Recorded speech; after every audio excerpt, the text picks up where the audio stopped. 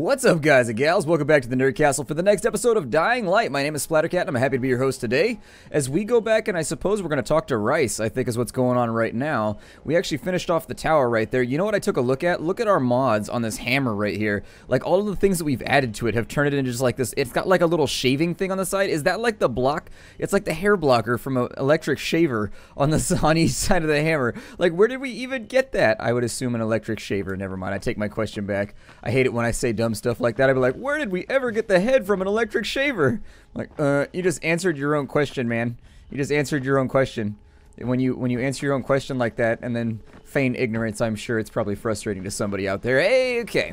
So anyways, let's move forward. Oh, look, the night crawlers are out. I was unawares. I was unawareses. Okay, well, we need to go talk to Rais, and I'm figuring I'm just going to focus on the single-player storyline for right now.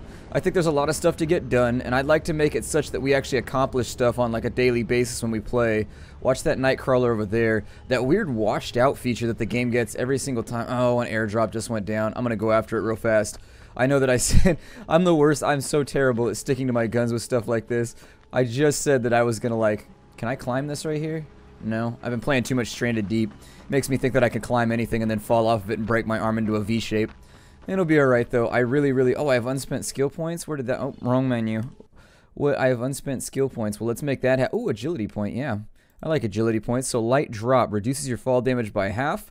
Falling from great heights is still fatal. When grabbed, you can shake off biters more quickly. Kicking during a slide kick will break the enemy's legs. Press E while doing it. Okay. And then we have the I'll probably take health regen. I realize that that's not the most fascinating of skill, but it is probably the best utilitarian skill that we could take because as of right now, we're sort of like in Wolfenstein mode, I guess. Or not Wolfenstein mode. Well, yeah, OG Wolfenstein mode where you don't regenerate. Old games didn't, you had to find pickups in old games. They didn't give you health back like that. Like, I, I the old guy inside of me that has trouble playing video games because of my old man reflexes likes the fact that I get regen in every game now. But the the inner child in me is just so upset right now. I should probably, I could either go for crafting expertise. Let's go for master backpacker for right now because we do have a very, very full inventory and being able to carry stuff around. I didn't realize I was dismantling things when I pressed the Z key. And so from now on, I promise that I will take note of that. Let's stay up here. Hopefully the Nightcrawler doesn't see me or the night, I don't know, the night squiggly mouth molester thingy. I don't even know what he's supposed to be. They can't be fought right now. This would be a very, very bad time. I had somebody in the comments ask me why I don't fight them. They're pretty hardcore, and they summon more things that are also equally hardcore. And so it becomes like this long-term issue when you fight with them where it can be very, very difficult to finish them off before other stuff shows up. And so sans a firearm, I find that I tend to just ignore them until I have better guns later on in the game. Alright, so we got a lockpick right here. Let's see. Have I ever mentioned how much more I like this lockpicking minigame than the original Oblivion lockpicking game? I, I couldn't stand that little Tumblr game that they had, not the actual like website Tumblr, but the game they had, you had to take like the lockpick and you had to push up the little bronze tumblers and I could do it. It's not that I wasn't able to do it. It's just that I find this one right here to be more enjoyable, where you do the rotation and then the screwdriver. I like it, and I'm glad that games like Fallout and stuff like that all have it. It's it's instantly recognizable. That's one of the reasons I think they probably went with it in this. What is that? That's a toe catcher right there. Why would you put that in the middle of your house? Oh, that was right there. That's nasty, too. I'm thinking that that's just like a design flaw right there. Somebody needs to call the architect and be like, yo, I just bashed my toe open. Is there any way we can, like, I don't know, get some, get some kind of payback for this or what? Oh, it went to the bottom of the ocean. That's good. That's not the ocean. That's a river. I think it's a tributary. It attaches to the ocean, though, so it's close enough. We have medical supplies. Yes, please. Where's my oxygen at? How do I decide how much air I have? I like how he flails his way to the surface. He's like, ah! He feels his way up to the surface like a blind guy. As I never noticed that animation before. Alright, so let's grab... How do I... Hey. Hey. Hey. Is there any way for me to... There we go. Okay, so there's like a sweet spot. Sorry about that. I'm trying to figure out if you're wondering what's going on right now. I'm sitting here spamming F on these things because they don't seem to be lootable, but there's a sweet spot. It's kind of like when you're trying to drag stuff in Stranded Light. Every single object has its own little like sweet spot that you have to target. Same thing with these. You have to be like a certain amount above it before to let you loot it. There we go. See, the second one was easy because I had it figured out. First one was a little bit tough though. We have, I think he's up at top. Yeah, he's up at the top. Let's go unlock this safe. No, let's go to Rice. I want to start being very, very good about finishing the things I talk about doing in my episodes because obviously sometimes I feel like we don't get a whole lot done. Every couple episodes I'll try and do like a free roaming episode where we just fiddle around with random stuff. I would say like every, oh, let's call it three or four episodes maybe. I know some people are interested in seeing the free roaming, so I do want to feature that in the game, but for right now, how do I get in here? A sunroof maybe? Is there like a, a hole in the roof or anything? They're like, yeah, buddy, we just installed a sunroof on our shack. How you like that right now? Oh, there it is, a door. I walked right past it. Who would have known? Uh, there's one of them on the other side of this building. Let's wait. I was going to crash the window open, but for right now... Oh, he's coming back this way. Is he? Alright, well, for the time being, Let's just go handle Rais for right now. We'll worry about sneaking into some of these locations in a bit. I feel like I'm doing a little bit less exploration in this playthrough simply because we did so much exploration in the press preview. When they sent out the press preview, basically you ran out of storyline in like 25 minutes, and so basically all there was left to do was to run around and platform and explore stuff. So, oh, there's a zombie in the dark too, and she is well aware of us. They all are. Alright, we're gonna have to move real fast. Give me a flashlight. There we go. Let's shed some light on this situation. I feel like shedding light kind of sounds like it would be inconvenient, like when your cat sheds, it's inconvenient. Shedding light, I would say throw some light, but that seems more violent towards the light. I don't know, spreading light? That sounds vaguely sexual. I don't know. It's very, very difficult to decide like what my distribution like what my distribution method is going to be for the light in question. I guess we'll just go with shed. Eh, inconvenience better than either of the other two. We'll go We'll go with the worst case, best case scenario here. I love the fact that you can actually leap. Rahim? The antennas. Brecken told me. Communication is crystal clear now. Yeah, that was me. And now I'm on my way to see Rais again. And get the antizin? That's the deal. Good job, man. This helps everybody, but especially Dr. Zere and Dr. Camden. They can hear each other without static for the first time since... whatever. See you back at the tower. I'll be there as soon as I can. So, I don't know if you noticed, but this is called the Bites Motel, which is a play on the Bates Motel. Anyways, hey, get out of here. I have a legendary weapon. Like, this is the thing, this... Oh, no. Oh, that's so bad. Alright, so an explosion went off because I accidentally nicked a fire extinguisher, it looks like. Oh, if we get trapped back here, this is going to be so bad. Ow. Ah. How did I know? How did I climb faster? Nope, you're not coming up here. Nope, cool kids only. Sorry, cool kids. Nope, cool kids only. You can't you can't get up here until you have your wrist slapper watches or your, at least your click clackers. Come on, man. There's there's rules of entry to the cool kids club. If you want to be with the cool kids, you got to get down with it. So until you have those vital things. What were those things called? We had those when I was a kid. They were like little wrist like they were essentially just wristbands that were made out of like this weird elastic. And essentially what they are you still alive? My god, you are just a glutton for pun How did you even did you just piggyback off that wall? Wow, that's a talented Here, I'm going to jump on you real fast cuz I don't like you and you're upsetting me with your amazing ability to track me down and destroy me. There we go. Anyways, what were those things called? When I was a kid, they were wristbands, like they were kind of like bracelets that straightened out and then you slapped them on. Were they called slappers? Snappers? I forget what they were called. Anyways, they were really, really popular when I was a kid. That window is... I like how every window in this place is reinforced with wood. Like, is that a normal Middle Eastern thing? Like, do buildings... Frequently? Is that because of sand? Like, why would that be? I'm not gonna. I'm gonna try not to say something stupid and ignorant right now. Like, what are these shutters for? Are they just like in lieu of curtains? Is it just like a style thing, or does it actually have a function that curtains cannot fulfill?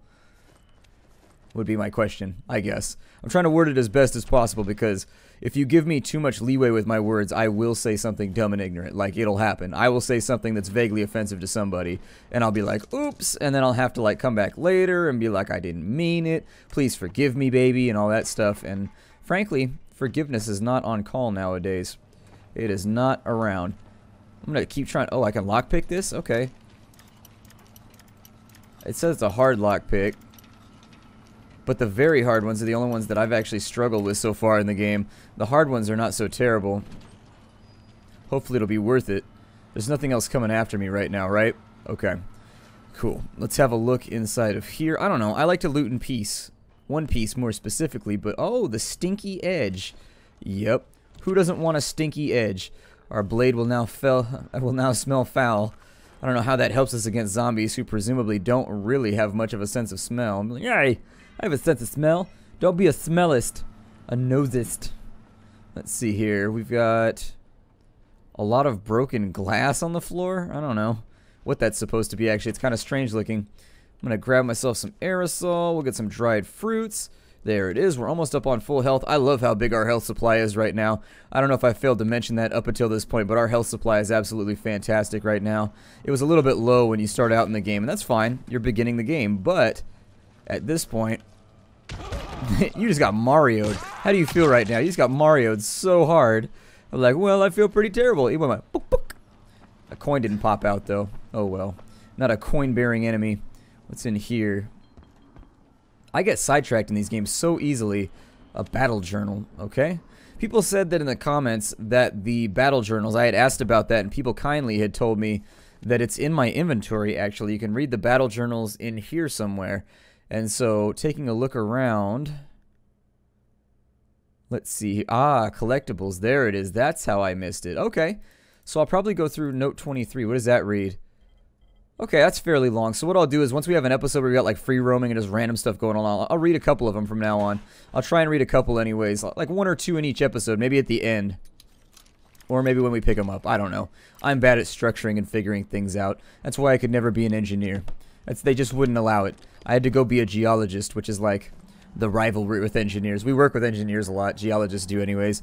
Geologists and engineers and biologists, those two I would say engineers and biologists we more frequently work with than anybody else, just because geologists tend to get slapped onto the engineering team in general because we have to do you have to do soil samples. You have to make sure that whatever the rain, I'm sorry, I almost said whatever the ranger, whatever the geologist and the engineer are working on, usually it's some kind of structural build, and so you have to make sure the geologist's job is to make sure that the earth underfoot is not going to slide out from underneath this thing, and to figure out just like how cogent like the the soil is. So you have to run soil tests, you have to do a bunch of other stuff. Basically, you have to see where the bedrock is if they want to build on bedrock. That's like a big deal. I know a bunch of geologists that they won't move into a house or they won't live into a house until they find out whether it's built on bedrock or not. Probably a smart idea here in California, though, because we get so many earthquakes. We had a big one the other day, not too long ago. I mean, I think I brought it up in the channel. It's probably about three or four months ago now it's not like uncommon for us to have big earthquakes here, but we had like an especially a reasonably large one, one that actually elicits worry. Oh, look, it's one of those spitty guys. Man, get out of here, Spitty McShitty. Uh, leave me alone. Eh. I don't like being spit on. That's really, really unpleasant. Deep down, I can tell right now why there's always a fight when somebody gets spit on. Somebody needs help. And being the helper individual that I am, I'm going to have a look and see how I can assist. Is he... He's down here. Oh, he's inside this door. Okay. Um, there's no door. What are they doing right now? Just standing behind the building? That's odd. Hey, stop with your flailing. This would go a lot quicker if you would just quit struggling.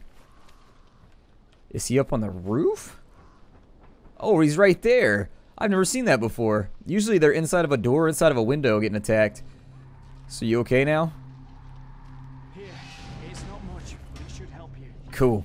Got ourselves another Enforcer mod. That's good because we've actually been running out lately. I've been very, very low on mods. We threw them all into our legendary weapon if you're wondering where they all went. This little hammer right here. I should probably save it for worse situations. I also like the spike bat that we have. Like, spike bats, such a ridiculously cool weapon. And this one's actually really badass because they use screws. Typically, people just hammer nails through them. I've only seen one or two in my entire life.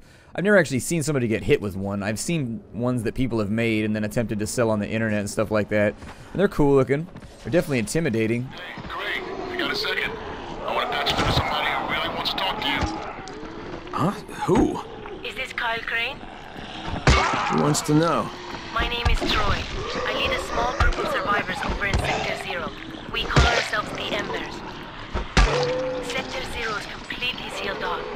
Mr. Crane, until you restored radio communication, we didn't know if anyone else in the city was alive. Just wanted to let you know how grateful we are. You've given us a small measure of hope. Uh, well, I'm happy to help. If there's ever any way we can help you, Mr. Crane, please, don't hesitate to ask. Mr. Crane, Mr. Crane. Mr. Crane makes it plain when he jumps out a plane that he will not refrain from beating in brains, and so forth and so on. I could keep that one going. The Ain sound is very, very easy. I have a large internal library for the Ain. Done. Now it's time to get back to Rais and get that antizin. Let's see here. Is Rais inside the building, or did I just, like, do a zone in for no reason whatsoever? Oh, no, he's in here. Good. He's got a spiffy suit, too. Ooh, that tearing. That tearing, though. Alright. Well, you not only did the job Karim asked of you, but you made it back in one piece. Bravo. Can I get some antizin now? Did you think I would be satisfied so easily? You still have plenty to prove. Look, we really need the drugs. Let me have them now, and then I'll come back and do whatever. You'll get antizin when I say you get it, not one second before. But, as I have established, I am not unreasonable. Do all that I ask of you, and I will give you not one but two crates of antizin. All right, fine. What do you want me to do?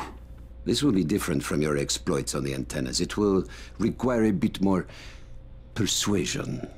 The imposing of one's will, the creation of one's own rules. That is what makes a man. Do you live by your own rules, Crane? Or are you merely someone else's puppet? I believe I know the answer. Talk to Karim before I decide you are no longer worth the trouble. If you're worth trouble, I feel like that's kind of like an alternate resource, like getting paid in trouble. I don't know. I think in the next episode, I'm going to have to turn on. This wasn't happening before, but I'm going to have to turn on the VSync in the next episode. I don't know. Maybe it has been happening. Either way, I thought it was fine enough to where I didn't have to, but eh, we might have to VSync up. Let's go talk to our weapons broker real fast before we do anything else. So he's got a limited time sale, an all-purpose toxic striker. So with the all-purpose toxic striker, that's going to cost me 720. I think we're doing pretty good on weapons right now. I really don't think we need much else. Let's go ahead and we'll sell off all of our valuables, which will come out to a smooth $2,700.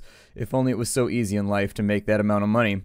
Nope, it was actually quite difficult. If I had to run through a zombie horde and do a whole bunch of crazy parkour stuff and maybe get my face sucked on by ridiculous bipedal hentai monsters, that's a lot more trouble that I'm willing to sign up for in most cases.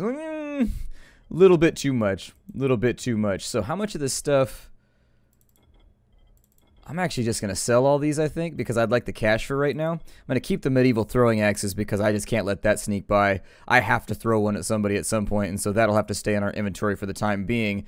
He wants underwater algae. Unfortunately, I don't have any, so we can't really, like, do that deal right there. We can only have four in our inventory, right? I wish it had a little icon. Oh, it does. Never mind. I think that means that it's equipped right there, maybe? Although, shouldn't we have four weapons? Hold on. Let me take a look here. Let me do some... Oh, yeah. One of my weapons is gone. Okay. Well, here, put the plain hammer right there then. No, is the military shovel broken? How many repairs does it have left? None. Okay, so it has no repairs left. I've got a bonus hammer just in case. Just in case. On this side, we got a short gator knife. I've never seen a gator knife before in my life, so I don't even know what distinguishes a gator knife. I would assume it would have some kind of like, it'd be similar to perhaps a, le a leather working knife or like a scaling knife. I'm not really sure. I don't know. I don't live in an area with gators. Don't live in an area. I'm going to sell my flares too because I find them to be not that great. Let's see. I was going to... Oh, yeah, we should sell the military shovel before things go too far. And I think that's going to clear out my inventory fairly well. I'm going to keep one extra hammer just in case.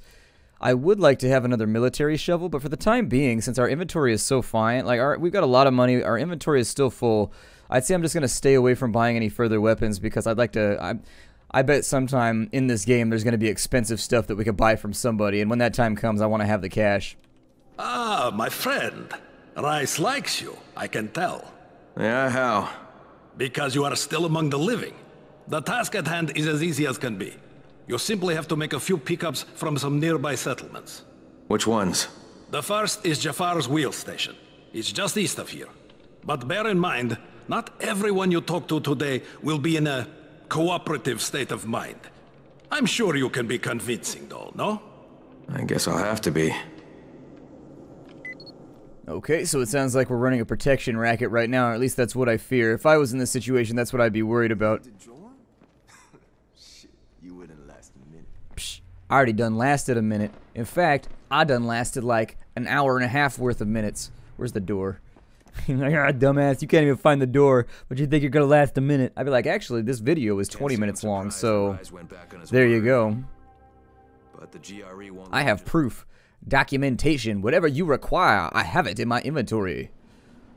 Alright, so now that we're here, I can sleep. Eh, we don't need to schlep. Schlepping is for the weak. I actually, I have a strong, strong dislike of sleeping in real life. Like, seriously, I'm not even joking right now. Like, I like sleeping, like, it's pleasurable to sleep. But I've always felt like sleep is just like a giant waste of time and I could get more stuff done if I didn't have to do it. Like, if somebody came up with a pill tomorrow that allowed me to no longer have to sleep, I would take it every single day. Just so I wouldn't have to sleep anymore and I could just get loads and loads and loads of work done. It's pretty much what it comes down to. That would be super sweet, especially considering that I enjoy my job. Like, I work on YouTube, for those of you that people don't know. I actually do this full-time at this point. I started doing it full-time probably right around the time college ended for me anyways, about six months ago. But yeah, I was able to stop doing other side jobs and stuff like that and start doing this full-time about six months ago. And I forgot what the point was that I was working towards right here. But yeah, it eats up a lot of hours in the day. It eats up a lot of hours in the day doing this, but it's something that I enjoy doing.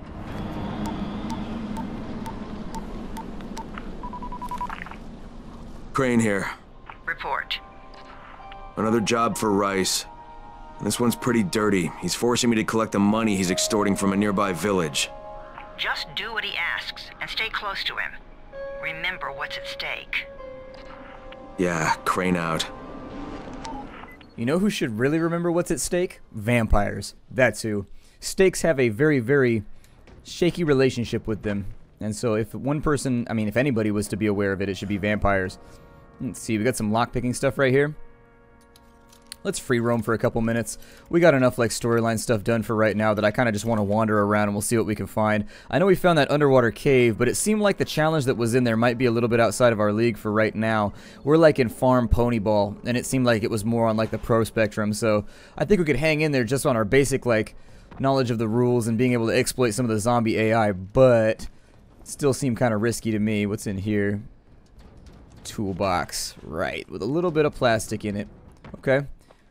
Over there, we have one of the hazmat zombies. I guess that I'll head across the train tracks, I suppose. See if we can find anything anywhere else. That building doesn't look open anywhere, so we're not going to worry about it. We've got a zombie on fire over there. No, that's a car. I can tell the difference between a car and a zombie. I could tell the difference. I know, I know stuff and things about life. I'm not that bad at it. I mean, despite what people have told me over the course of my years. I don't know, when I was a kid, like, I was that kid that was, like, worthless at everything. Like I never knew how to fix stuff. I never knew how to like do anything really practical. Which is kind of like the ultimate irony because my, my old man is like one of those guys. He knows how to do like everything from electronics to like soldering to welding to like you name it. For example, yesterday he built a smelter in his barn and now he's learning how to blacksmith because it's like one of the few skills that he does not have. He's a carpenter, he's a metal worker, electrician, like he has like all these random things that he knows how to do. How did I know? I'm gonna hit your little backpack right there. Eh. I don't know why it's so fun hitting his backpack and watching him explode. It's a terrible idea. By all standards, it's the worst idea ever because it calls in virals. But it's still fun. I still enjoy it. I like watching him go kaboomski. Where are they at right now? Well, there's a red box right there, just in case we want to get some movies. No, it's a red box full of loot. Not movies, so we'll check that out. It's in kind of a weird spot that you wouldn't notice, so I figure maybe it'll be... Oh, it's a medium box. We probably won't get anything too amazing from right here, but it'll be something supplementary to throw on into the inventory so that we can sell it or maybe break it down later. Or coffee. There you go. I'll take coffee. It's worth money. It's worth money and stuff and things. Jump over to the fence right here. Yeah. And then we've got a blue guy over here. Hopefully he doesn't start banging on drums and making a bunch of noise and playing with paints because A, I don't want to deal with the mess. B, I don't want to deal with the noise, so you know. I came in with the hazmats, Team 4. It was two days before they sealed the city, and our job was to go door to door and find out who was still all right. So we'd knock on doors. Sometimes you'd hear a voice that sounded like a person. So you'd go in. Only it turned out it was a viral. All angry and crazy, just enough voice left to fool you. Sometimes they weren't alone. The suits are pretty tough. They're PVC with reinforced double-layered polyfiber core. We thought we were safe.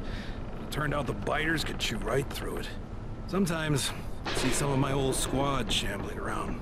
Gets me down to see them like that. You know the funny thing? They're all biters now. They can't bite. Because they don't have the brains to take off their masks. I'll tell you, this whole thing is pretty damn strange. The best defense against something like a zombie, I would figure, would be a lot like dog training equipment. Basically, you have to take it back to medieval times, in my opinion. You'd have to use some kind of just like... What's the name of that thing? A... Oh my god, I can't believe I'm brain farting like this. Like, seriously, I should know what this is called. Like a gambeson. There we go. You would need like a thick wool gambeson. Because that would be really, really difficult for anything to chew through. Essentially, you just got to take it back to the previous decade, or I'm sorry, the previous decade. Yes, medieval times were one decade ago. It hasn't been long. Look how much the world has changed. The technological revolution has happened right here at my feet. Karim, I'm by the wheel station. Took you long enough. Get the job done and make it fast. This is just the first stop. Alright, my name is Splattercat. Thank you for joining me here at the Nerd Castle for the next episode of Dying Light. I hope you're enjoying the series.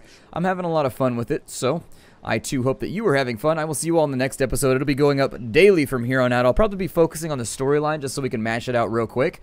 But I'll probably do, like I said, every couple episodes I'll do a little bit of free roaming exploration. And as we saw today, I got a little bit sidetracked, but we still managed to hit like three or four objectives while getting sidetracked. So I think that'll work out. I'll see y'all later. Hi, do everybody.